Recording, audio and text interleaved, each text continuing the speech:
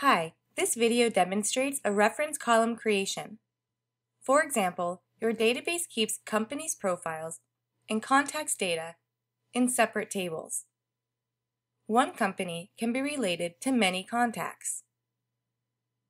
To create a reference column, go to the Setup, click on Create a new reference column link, and choose the company's table. When the company reference column is created, you can edit contacts and choose company names from the company table.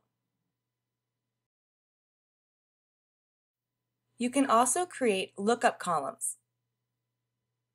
For instance, the address lookup column.